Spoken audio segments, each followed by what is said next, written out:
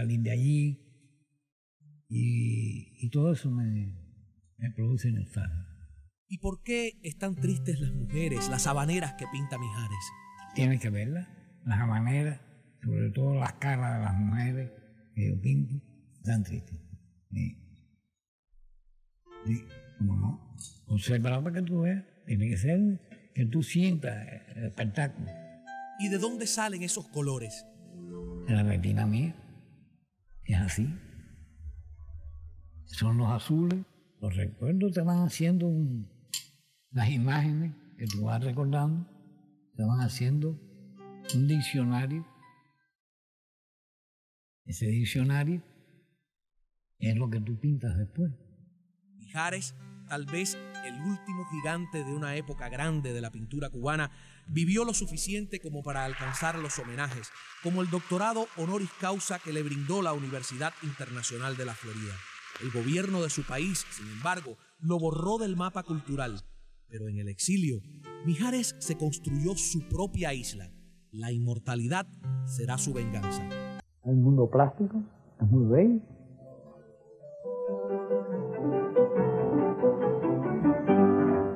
Hay quien no ve la plástica, hay quien no oye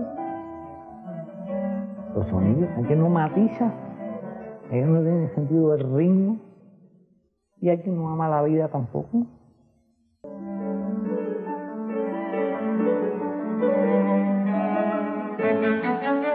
El mensaje sencillamente el espectador frente al espectáculo. Lo que es el amor, nadie te puede decir qué cosa es el amor, porque tú amas a una mujer, porque es muy bonita, porque no sos muy lindo, porque es muy... Bueno, ese es el punto de vista tuyo. A lo mejor no es el punto de vista mío. Esa es la obra de arte también. Es una, es una cosa bella y tú te comunicas con ella o no te comunicas.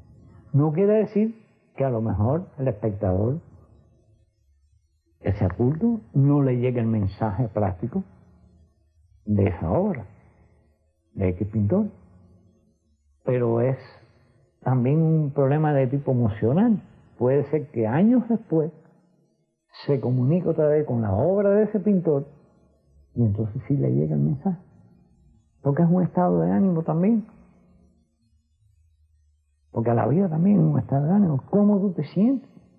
Una persona que se siente bien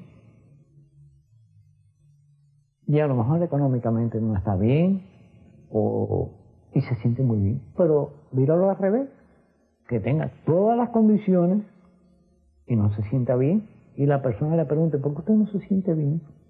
Él no lo sabe explicarte, porque no se siente bien. Y eso frente a la obra es exactamente igual. A mí me ha pasado con pintores que he visto su obra y no me ha gustado. La palabra no gusta porque está en un problema de los dulces, ¿no? Me gusta el dulce tal, ¿no? No me ha llegado el mensaje, honestamente.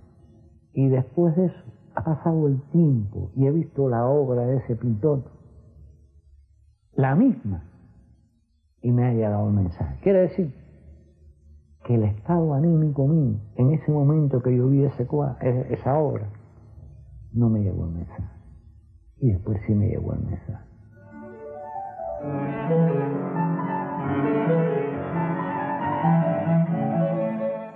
La, creación es un misterio. Nadie puede saber qué cosa es la creación. Eso es un misterio que nadie lo sabe. Porque un hombre puede crear y otro hombre no puede crear. No me refiero solamente en el caso de la pintura, me refiero en general. Esa es una cosa muy interesante, el misterio de la creación. Y hay un Lezama Lima, uno de los grandes poetas que ha dado Cuba, decía una frase muy bella que la gente se debía de aprender, que le interesa todas estas cosas. Dice, aquí el que no habló con Dios no puede hacer nada. Se refería en la creación. Que no puede hablar, el que no habló con Dios no puede hacer absolutamente nada.